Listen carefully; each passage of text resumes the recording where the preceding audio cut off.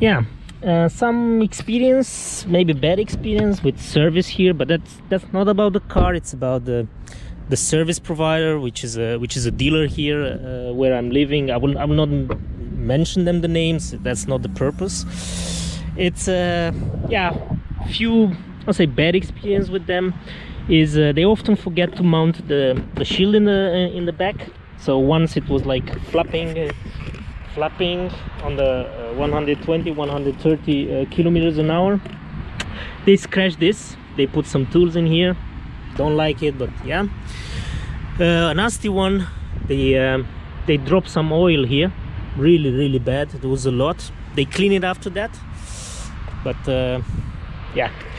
And um, another interesting one was uh, just after I got the car yeah it, it had a recall to to to do something with the um, um, with the seat belts uh, in the back seats. And um, you can see the, the, the seat belts over there on the left and here are straight. This one is not straight. Yeah. Ah well I report that to them a few times. They say they fix it. They didn't fix it. Um, and then actually when I took the car once from the from them. There you go. This doesn't work anymore. It works here but it doesn't work here. So pretty bad experience in that sense. But as I said nothing technically bad with the car. It's just the experience with the with the service center here. Um, yeah if we talk about service center yeah they also don't seem to know much at least until uh, one or two years ago when I kind of gave up uh, asking. They don't seem to know too many things about let's say this kind of plug-in electric cars. Um, for instance I, I, think I mentioned I asked them um, how much can you see from the car? How much I was driving in in electric mode? No. They say they can't. I find hard to believe I was explaining them about the, the, the charging the capacity of the battery and some discussions on that. No at least they could not engage with me on that. Now another thing that I like about Volkswagen it's um, some of the people some people will probably criticize me for this but it's actually their app um, when it's working and that's what they would probably criticize me for because sometimes it's not really working and it cannot connect to the car and it's kind of like irritating. But anyway what i like about it comparing with uh, let's say a, a, tesla app is that you can actually um, schedule uh, um, charging and air condition from the app. You can't do it in tesla. I was surprised to see that. So um, i would say that's a plus. Um, the other thing is that you can actually display your driving data. History. You can see it how much you drove when every speed. And i find that as a plus.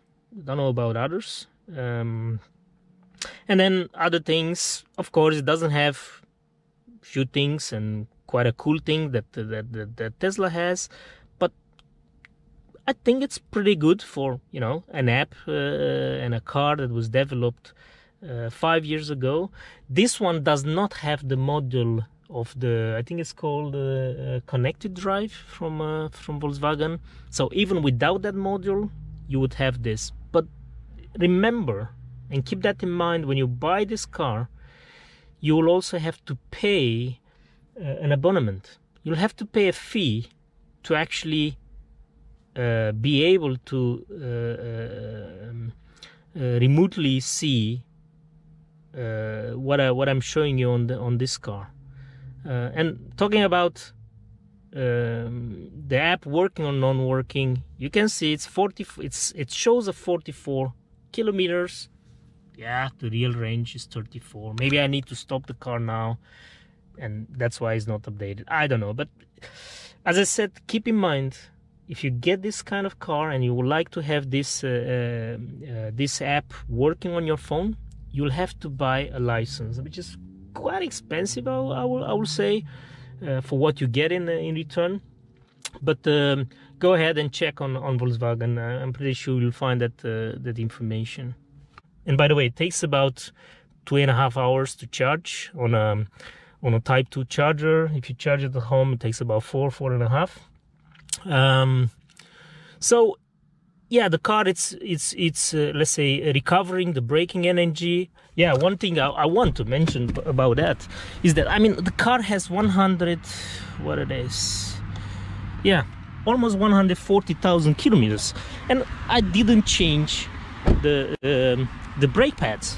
They are the original ones, and um, the one thing I notice is when I drive on long distance with with other cars I, I, I used to drive you'll get that powder on the on the wheels from the brakes on a long journeys. With this one you don't because actually you are not really using the brakes as much. Um, and especially this car has, has something really interesting is this B mode you can see now it's it's it's in park. Then now it's in drive okay?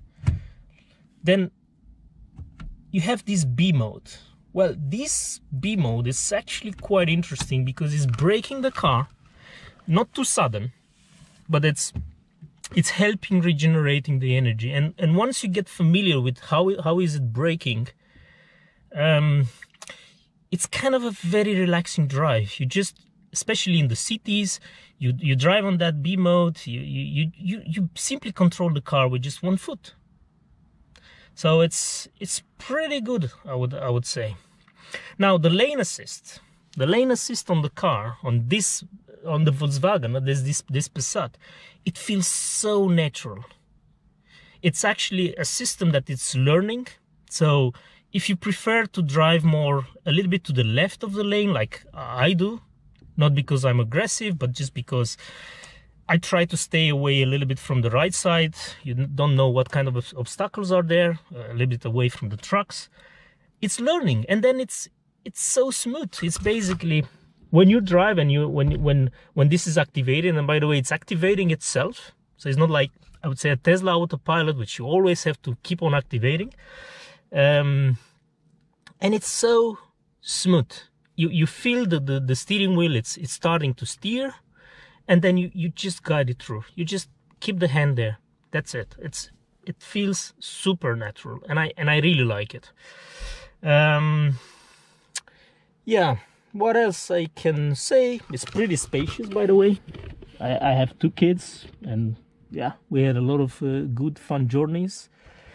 Um, yeah, nothing really bad as, as such. Yeah, I would say yeah, be careful when you when you clean this. Like yeah, I I I scratched it once. Um, I think here in the back you see you have these things uh, to adjust the, the, the air vents. Yeah, in the back they're gone, just because I think the kids uh, hit them and they're, they're, quite fragile, I would say. Um, yeah, now brilliant car. I would recommend it if you can get a good a good price. If you can get some I would say uh, history in terms of charging. Maybe that will add a little bit of, uh, of value. Um, but brilliant. And don't worry about small engine, benzene.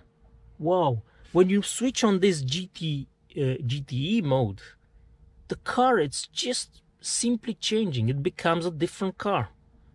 And I'm, I'm in it. It's powerful, it's responsive.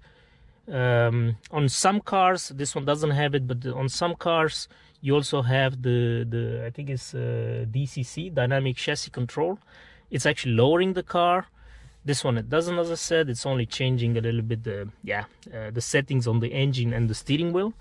But when you are in in this GT mode the steering wheel becomes more more stiff more more more uh, let's say fixed on the road. It it just feels safe. And yeah you drive easy up to 200 and even above.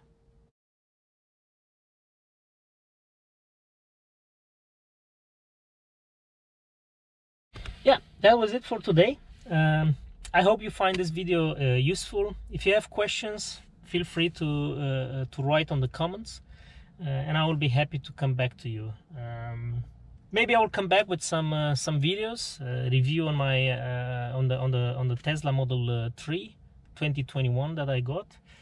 Uh, pretty excited about that car too, um, and I will have to see um, what kind of compromises uh, I would have to do from this car moving into into a Tesla. One of them I was worried could be space, maybe. Let's see. The kids are growing and we don't need the uh, we don't need the, the, the, the chairs anymore there. Um, but uh, yeah that will be another video.